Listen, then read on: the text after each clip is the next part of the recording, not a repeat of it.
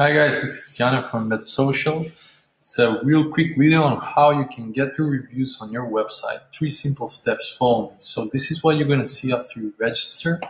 So as you see, click add source to start aggregating reviews from selected sources. Now you can get your reviews from Facebook page, Google location, Yelp reviews, Twitter, and also custom reviews, the ones you get from email or walk-ins, and also you can get reviews from your website with collective reviews. Now, let's start first with uh, adding Google location. So if I click here add source, it will ask me to sign in with a Google account.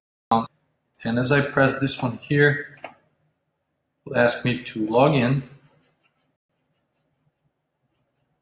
And as you see, my Google account has been added and automatically you will be transferred to the sources tab here where you will need to add the location here. So you just press add source.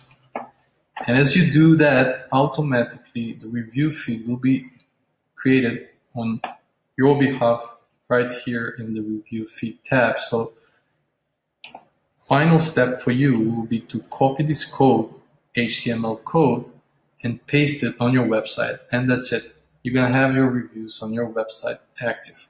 Thank you very much for following this video. And if you have any questions, feel free to write us in the app down.